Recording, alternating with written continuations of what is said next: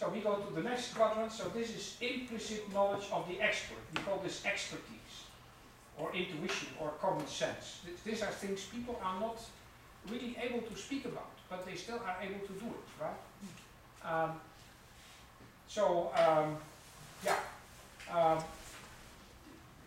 individual knowledge that cannot be verbalized. Uh, and so what can you do? You can observe and register. So maybe you should walk with somebody using a camera, video camera, and, and, and make pictures or make a video clip of somebody performing.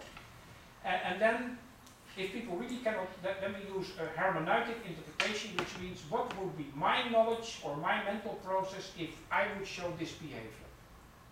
So you, you observe the behavior and you try to find out what would be going on here if I would do this behavior.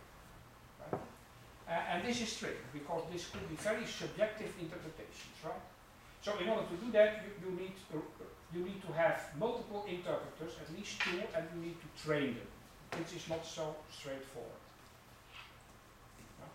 And it can be very reliable. We, we have done this in many task domains, in fact, systematically, and we found that, that the, the correlation between the interpretations of different uh, interpreters could be as high as, as the, the correlation between two different uh, psychological questionnaires for, let me say, introversion or, or, or, or neuroticism or so. It's the same level of reliability, which means not perfect but quite usable and valid. But it's not easy. So I this. In practice, what could you do? Well, this is a nice one. Um, you, you could have two observers and, and, and, and, and uh, that both take notes and make pictures and include the situation because a lot of this behavior is situation triggered. You find out people behave in a certain way because they are in a situation. Right?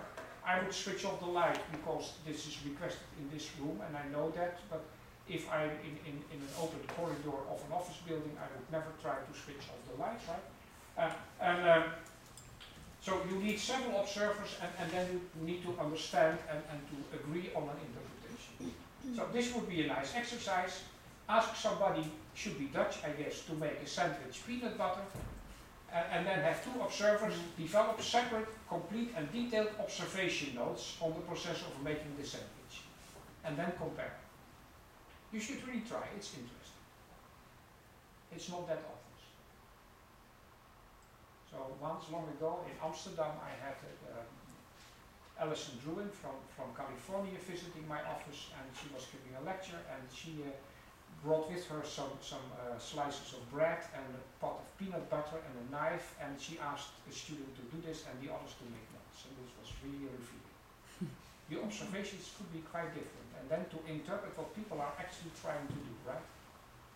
So